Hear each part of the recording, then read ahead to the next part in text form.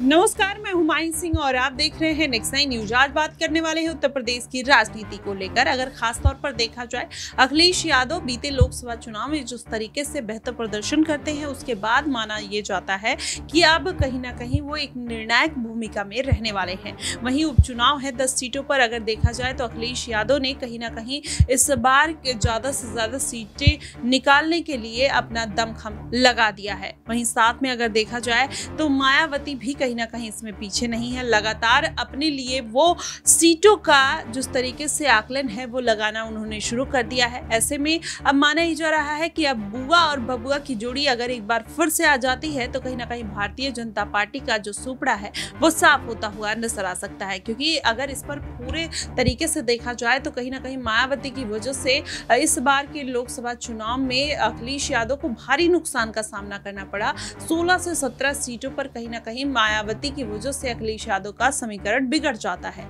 और यही कारण है कि अखिलेश यादव 2027 के विधानसभा चुनाव में वो गलती नहीं दोहराना चाहते और यही कारण है, वो चाहते हैं कि मायावती उनके साथ फिर से कम करते हुए नज़र आए। वहीं अगर 2019 के समीकरण की बात करें तो 2019 में मायावती और अखिलेश यादव ने एक साथ चुनाव लड़ा था और अखिलेश यादव ने यहाँ तक वादा कर दिया था कि अगर वो चुनाव जीते हैं तो मायावती के लिए प्रधानमंत्री के तौर पर उनका चेहरा, उनका नाम आगे करते हुए नज़र आएँगे।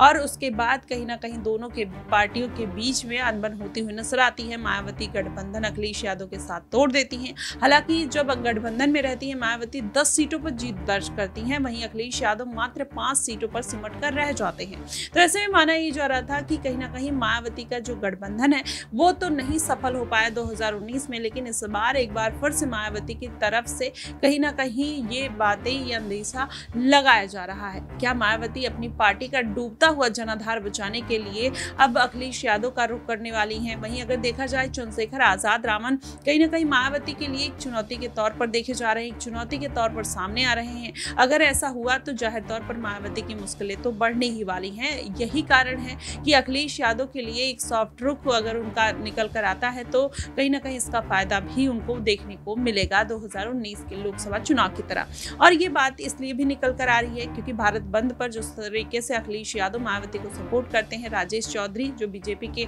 एक नेता हैं, उन्होंने मायावती को लेकर भ्रष्ट मुख्यमंत्री करार दिया, जिसके बाद अखिलेश यादव भड़कते हुए नज़र आए। और वहीं चंद्रशेखर आज़ाद रावण ने भी ये बात कहा कि बहन जी की जो बेइज्जती है, इस तरीके से बर्दाश्त नहीं की जाएगी। ऐसे नेताओं को जूतों से मारना चाहिए। इस तरीके की बात कहीं ना कहीं अखिलेश यादव और चंद्रशेखर आज़ाद रावण कहते हुए नज़र आए। क्या इन सब तमाम बातों से ये अटकलें लगाई जाने लगी कि क्या अब मायावती और अखिलेश यादव का फिर से गठबंधन होगा। क्या चंद्रशेखर आज़ाद की तरफ़ मायावती अपना रुख करते हुए नज़र आएँगे? फ़िलहाल अभी इस पर कहीं ना कहीं लोगों के कयास जारी हैं। देखना दिलचस्प होगा कि आखिरकार ये जो कयास है, वो सच्चाई में परिवर्तित होते हैं या नहीं। देखना बेहद दिलचस्प होगा। फ़िलहाल आपको क्या कुछ लगता है, आप हमें कमेंट बॉक्स में ज़रूर बताइएगा। फ़िलहाल के लिए बस इतना ही। देश और दुनिया की तमाम खबरों के लिए हमारे साथ बने रहिएगा। नेक्स्ट टाइम न्यूज़ पर।